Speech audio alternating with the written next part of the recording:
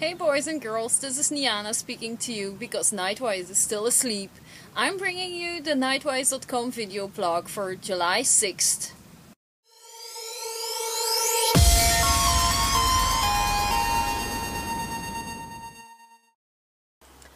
A couple of weeks ago we asked our viewers to make a video about the way they slide.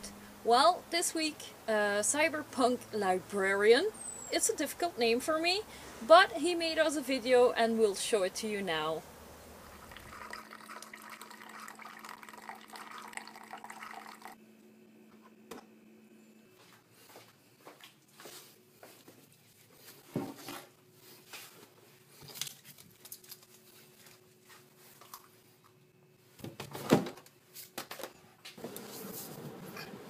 Hi, I'm Daniel Messer, the Cyberpunk Librarian, and this is how I slide at work.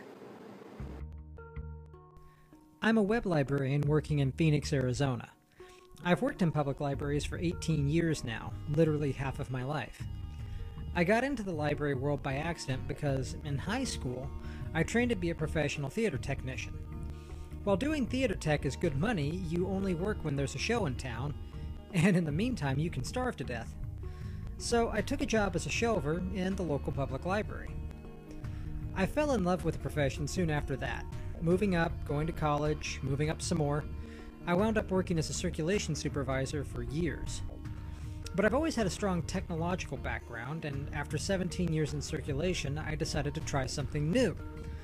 When the position of web content manager came open, I figured, hey, why not?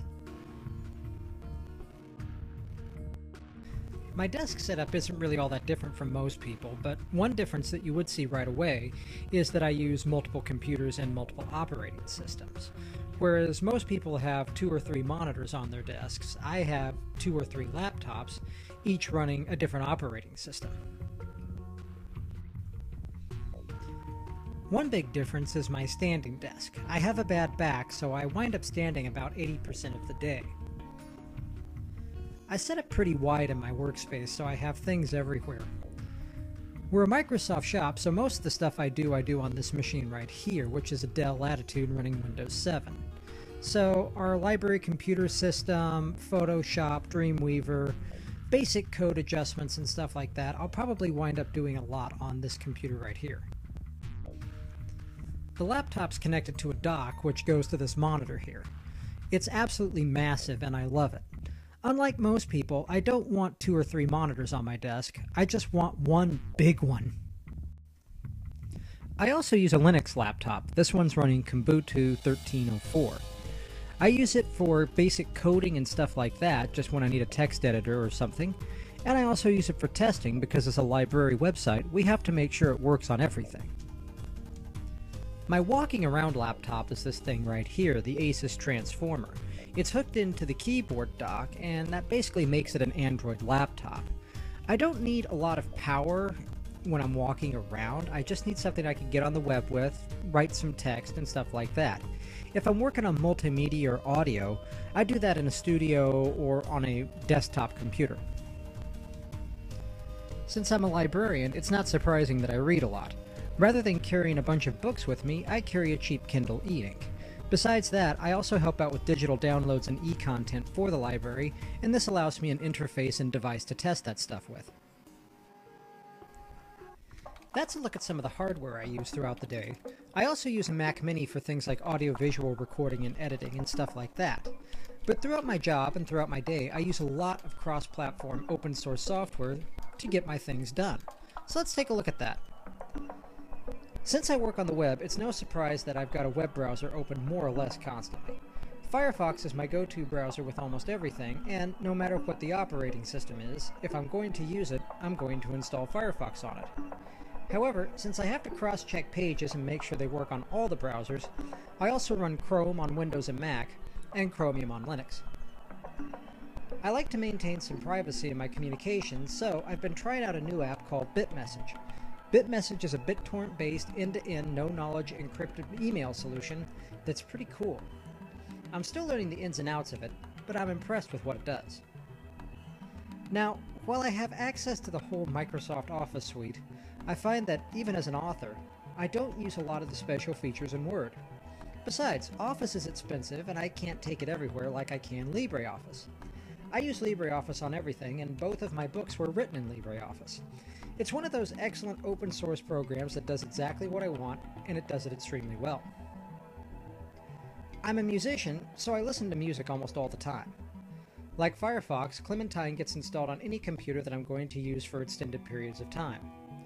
Not only is Clementine a superb MP3 and audio player, but it has built-in capabilities to fire up internet radio stations like Soma FM or digitally imported. It even has Spotify tie-ins. I typically add my favorite streams and just rotate through them throughout the day, going from 8-bit video game music to Celtic to chill out, and so on. And while it's not open source, Spotify works on everything too. For those times when I not only want to listen to Genesis, but I want to listen to all of Genesis, Spotify is my solution. If you've got the premium subscription, you can even download a Linux client that, ever since I started using it, bears no difference between Mac and Windows and works just as well. I use Photoshop a lot, but I typically use it for the big projects. For quick stuff like cleanups or a swift photo edit, I use GIMP. And while we're talking Adobe versus open source, I use Dreamweaver frequently, but I also use BlueGriffon, a WYSIWYG HTML designer and editor. It runs on everything too, so it doesn't matter what, I'm, what machine I'm standing in front of.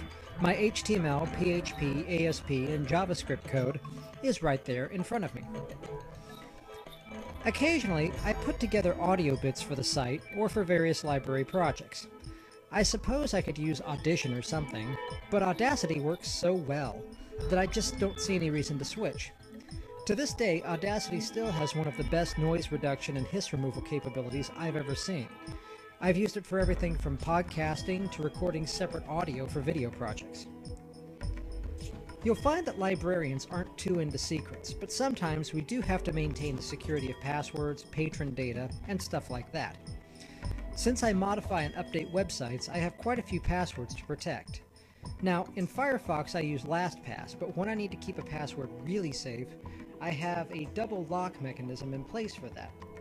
My first line of security is TrueCrypt, which once again works on Linux, Mac, Windows, and you know, everything like that. Anything I need to secure typically goes in an encrypted container locked down by TrueCrypt.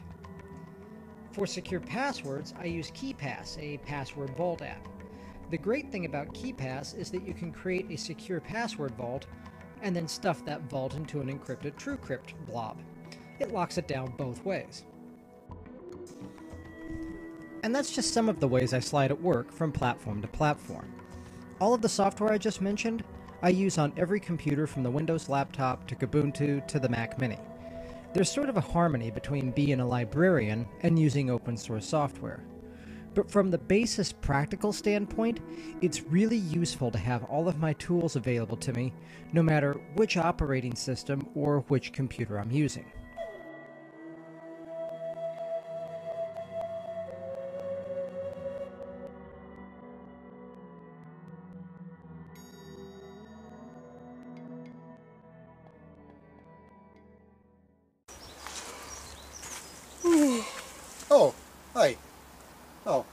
Oh, Oh, now you're awake. oh, sorry. Well, uh, that's all for this week on the Knightwise.com video blog. I've seen that my co-host has taken care of business. Somebody has to do it. Okay, well, I was sleeping in. I hope you enjoyed the video of Cyberpunk Librarian who is uh, showing us how he slides at work. I was really impressed with what he sent us, and you too can send us a video and a submission on how you use technology uh, for you and uh, use your own hack hacks, hacks tips. I'm not awake yet. I'm not awake yet. How you can use your own hacks, tips, and tweaks and share them with other cross-platform geeks. I'm really not awake yet. No. No. No, you're not. No, perhaps you should do it next time. Yeah, maybe I should. Yeah, should, would she make I a think better? the viewers would like that. Yeah, I think they would. okay, see you guys uh, next week. Until then, well, let technology work for you. Bye. Bye.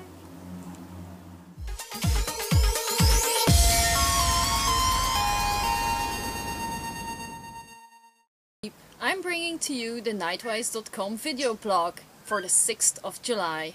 Ah, nu zit ik weer mis. Ik was zo'n denk ik moet je la...